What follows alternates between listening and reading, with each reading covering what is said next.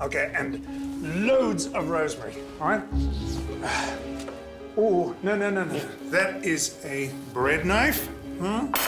This is a chef's knife, and that is how you hold it. Okay. Under there. Fingers back, curl back, and Okay. right. Like that? Yeah. Okay. Oh, and that. Oh, darling. Thank you. Oh, damn it! Oh, how bad? Uh, uh, just a warning. Here we go. The next time will be my whole bloody finger. Well, now you can tell Petra that you literally bleed for her. Here we go. True. But trust me, it's going to be worth it.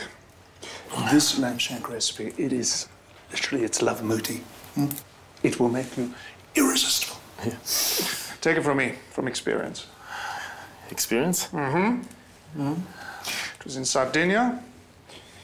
His name was Gianni, and he had the most perfect blue eyes. He was crewing on a, on a, wooden sailing boat off the Costa Smeralda. And he invited me back to the boat one evening when his um, millionaire owner was off ashore.